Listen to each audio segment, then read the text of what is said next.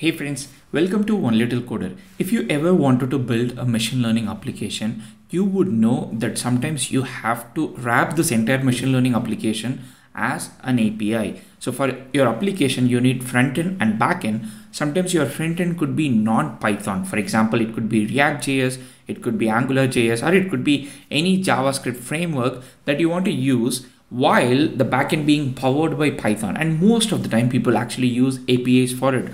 The API is communicating to the front end and making calls to the server. And this is how the full stack application is going to look like. But traditionally, if you wanted to use an API, you needed to host it on a server and then use something like FastAPI and then get the API. So this is what we have been doing all the while.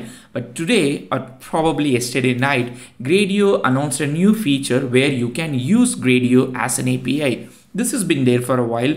We probably would have discussed this in this channel as well. But now this has been revamped and then you have got use Gradio as an API as an option, which means you can now create a machine learning application, host it on Hugging Face Spaces, now use that as an API rather than a full stack application on any web application that you are going to develop. And to show this demo, I'm going to build a Streamlit application, which is no way connected to Gradio, which is no way connected to Hugging Face, but this Streamlit application, which is running on my local machine, is going to be powered by that Gradio API, which we are going to see how to create in a short while. Let's get started with this Gradio API. First, I got to know about this announcement from Abubakar's tweet and this is very simple. So at the end of a Gradio application, if you're running a Gradio application that is greater than 3.11, you're going to see a very small button at the bottom called use via API. And once you click that, you're going to get all the details. First, let me show you what is happening here in this application. This is a text to speech application, which is powered by Gradio API, which is hosted on Hugging Face Spaces.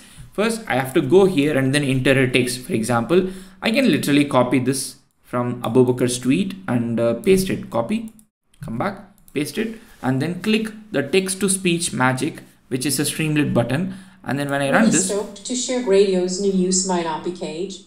Okay, uh, we are not here to evaluate how the text to speech is working, but we can see that this is completely working fine, and this is right now working on my local machine. And now, what does it mean? Let me take you inside the code and show you what is happening to quickly see what is happening. This is a very simple Streamlit application, but the way this text to speech is happening is by making an API call to the API that is hosted on Hugging Face Spaces. Now let us identify how that is happening. Anytime you have a Hugging Face space that is actually running greater than 3.11, go click the file version, click the readme and then see so this SDK version is 3.11. So if any Gradio application that is hosted on Hugging Face Spaces that is greater than 3.11, you're going to see a very small icon at the bottom. So if I zoom in, you're going to see a very small icon that says use via API. And once you click that, it's going to take you to this very nice page. Like if you're familiar with Swagger, very Swagger like interface where you can see, okay, this is an API documentation for this space and this is the endpoint and for this endpoint you have to make a post request and this is your sample input payload and this is your output response object and this API documentation kudos to the team does not end here but also gives you sample code for Python and JavaScript. So for Python you can copy this code and literally run it. It's going to give you a result. For JavaScript you can copy this and add it to your React.js or AngularJS or whatever JavaScript framework that you are using. Given that we know how to see an API documentation for a particular Hugging Face spaces, that is basically a Gradio application, let's now take this and go to an API platform and then see how does it work. For that, I'm going to use something called Hoppscotch. This is like an open source alternative for Postman if you're familiar with Postman. So what I've done here is I've copied the endpoint here. I've come to Hoppscotch and I've pasted the endpoint. Now, whenever there is an endpoint, we need to make sure that is it a get request or is it a post request. So instead of get, I've selected post and now we need to make a call. We need to make a call to the API endpoint using an input payload. So that is basically your text, which is ideally going to be converted into speech, which is going to be shown or displayed or responded back to you as a base 64 string, which is the base 64 encoded string of the audio. So I have gone here and then gone to the body and then said my data, the payload is like I want the base 64 for hello world. So, or I can, I can probably paste the same thing, whatever the message here is. You can copy this, come back here, paste the entire message. Okay, we have, we have the call we have the codes. So really stoked to share Gradio's new API. Let's stick to this. Now I can send, and when I send this thing, this Hoppscotch is going to help me send a call using this payload to this endpoint as a post request, which is a HTTP request. The good thing is we have got 200 response, which is success, which means the request that we made to the endpoint is successful and we have got a response. Right? Now, it doesn't make any sense. It doesn't make any sense because this is a base 64 encoded audio. So I'm going to copy this just for us to understand and go to Google or wherever you want to and then search for base 64 to mp3 and I'm going to see base 64 to audio. I'm going to paste it here and I'm going to click decode base 64 to audio. And then I'm going to play the audio do we have the audio here? Okay I still don't see the audio here. Cannot decode okay? I should use base 64 decoder. Decode base 64 okay the problem is because I had added the codes. Mm -hmm. that's a terrible mistake. Decode base 64 to really audio. to share Gradio's new API just API. really stoked to share Gradio's new API cool so now we know that this entire API thing works fine which is what we verified using Hoppscotch by making a call to the Hugging Face API endpoint using the input payload that we just gave the text here which says really stoked to share Gradio's new API and then we got a base64 encoded string in response which we used to service base64.guru to convert into audio file so that we verified this entire thing works. So now what we are going to do is we are going to just simply go here, copy the beautiful Python code that the Gradio team has put together for us and we are going to merge it or we are just going to combine this to a Streamlit application. And that's the whole point of this video.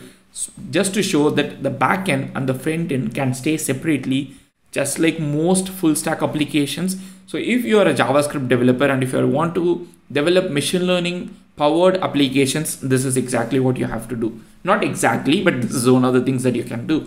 So now I'm going to go to my code editor, which in this case is VS Code, and I've created a new folder a project folder and I've got a file called app.py which is a Streamlit application. First, I have to import certain required libraries, which in this case is Streamlit for full, full stack application development, a request for making HTTP calls, base64 just for encoding and decoding. Then we have got a very beautiful title that says text to speech powered by Gradio API hosted on Hugging Face spaces if you want to add. Then we are going to use Streamlit's input component text input to collect the input from the user which is going to be stored in in underscore text the next thing is we have enabled we have created a button called text to speech magic so if you see our application you can see text to speech magic. Like in case if you want to optimize it like for example let's say i want to do something like this um, with an icon maybe this. Yeah so we have a button that has text to speech magic the text. And we are going to say once you click the button if the button is clicked we are, we're not specifying click here but you know that's what it means. Then we are going to use a progress bar or a spinner in this case and we are going to just use the code that we just copied from the Gradio documentation. This code and we are making a call and the input payload instead of the hard coded text we're going to use the input text that we got from the user.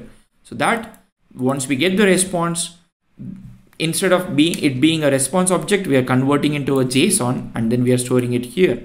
If you want you can call it json response json as well and then i can use that here. So now we need an audio player for that. We are going to simply use an html audio player and this is a simple html tag and to embed the audio base 64 encoded content inside it we are using f string here. This is an f string python f string and everything else is a string. And here you have got the python object which is response underscore json inside that data and inside the first object which is the base 64 encoded string and we have to also specify what type of audio content it is. In this case it is audio slash FLAC. That's a type. And once you have the markdown or HTML you can just display the HTML using st.markdown do not use this in production because this is prone to cross-site scripting and all these kind of things. So this is just for demo um, to show that you can have front end and back end separately altogether so that's why it says unsafe allow HTML and we are enabling it true. Now save it. Once you save it go to your terminal click new terminal and once you get the new terminal you say streamlit run app.py once you do that it is going to run this entire file. To quickly summarize again we have loaded required libraries. We have got a title. We have got a widget that collects input from the user. We have got a button and once the button is clicked we have we have a spinner that runs until we do all these things. In this case make a post request to the hugging face spaces for the particular gradio api and use that to embed an audio player and you know display to the user. So let me run this. Once i run this it's going to give me the link where it is run. I can come back here. Once i run this you can see that the new button with with the lightning icon that we added is here and I can add something. Gradio is amazing. I just love it. But Streamlit is also equally amazing. That's why this demo uses Streamlit. Text, click text to ma speech magic. We have got the audio output played. Gradio is amazing. I just love it, but Streamlit is also equally amazing. That's why this demo uses Streamlit. That's why this demo uses Streamlit. And now we have successfully managed to build a full stack machine learning application that does speech to text. The Streamlit application is Streamlit is the stack that is powering the full stack application, but the front end is Streamlit, but the back end, which is, you know, in this case Streamlit, but makes call HTTP calls using an API to a Gradio application and that Gradio application is hosted on Hugging Face Spaces and that's the power of open source. Now what you can do is you can host your model on Hugging Face, build a Gradio application on top of it, host it on Hugging Face Spaces and then use that API to build um, any kind of application, whether it is a curl command, whether it is a HTTP request, or if you're building an R Shiny application, now you can use it anywhere in any programming language because it's just an API call, which is quite possible in any programming language. So you're not bound only by Python in whatever you want to do. And that is why we used Streamlit to show that power say where we have a Streamlit application that makes API calls to the Gradio API. I hope this video was helpful to you. Once again, kudos to the team for making this amazing new or enhanced API option using Gradio. But if you have any other question, let me know in the comment section. Otherwise, see you in the next video. Peace.